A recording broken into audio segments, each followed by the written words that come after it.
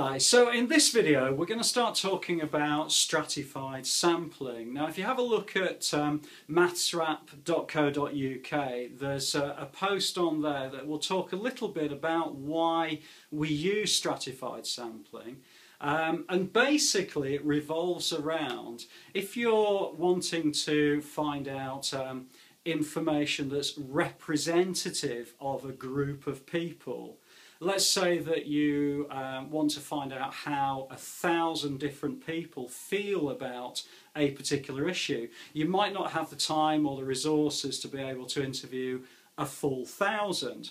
So what you do is you take a sample of that thousand.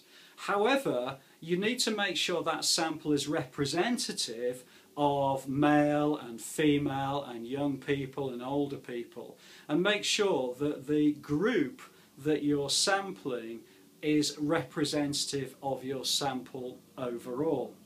So on this particular question we have boys and girls within year 12 and year 13 and what the question is asking us to do is to carry out a survey of only 50 students out of those groups but to give us a number which would be a stratified sample.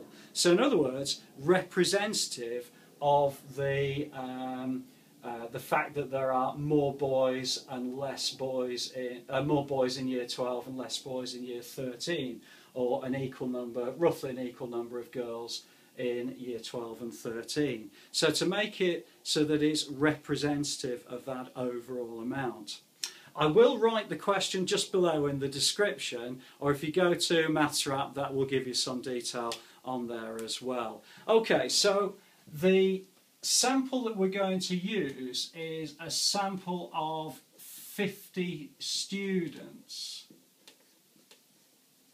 So in other words, we've only got resources or time to be able to talk to 50, but we want to make sure it's representative of all of these students.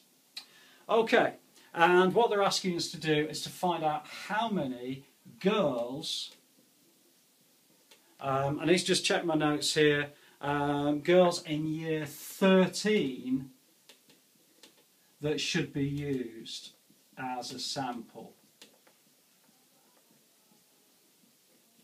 Okay, so the, these kind of questions are usually given to you in a couple of different ways. Um, generally speaking, they're given to you usually as a graph or a chart or something like that. Now sometimes there's bits of information missing. Um, in order to gain full marks on these questions, you need to be able to um, add the missing bits of information. And the most important bit of information that we've got within this that's missing is the totals, because we need to know how many people there are altogether in years 12 and 13. So I'm going to put a little total um, column there, or row, and I'm going to add the number of boys in year 12 and year 13, and that's going to be 203. Similarly with the girls, I'm going to add that together, that's going to be 179. So in other words, within the whole grouping of year 12 and year 13, there are a total of 382 students. Okay, that's really important because the amount of girls that we're going to sample will be using uh, in year 13 will be, um, if I was sampling the whole 382, I would be looking at 85 out of 382 students. So in other words, um, if I had the resources available to do the whole year 12 and year 13 grouping, I would do the whole 382. And out of those, 85 of them will be girls in year 13. However, I've only got resources to sample 50 students. So in other words, it's going to be this fraction, but it's going to be out of 50 students. And the way we write that in maths is we might multiply. So it's this fraction, this, this one, out of 50.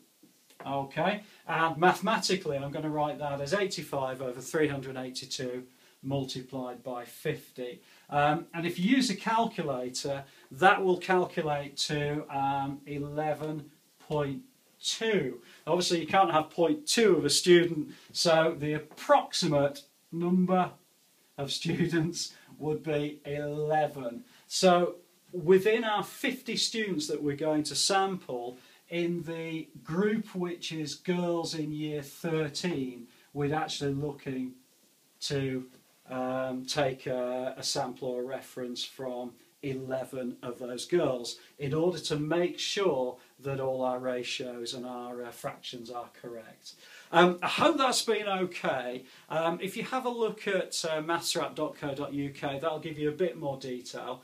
Um, please do add a comment below and I will uh, get back to you. And also you can post or pin or tweet uh, this video. And um, I hope it's been useful to you and I look forward to seeing you inside the next video.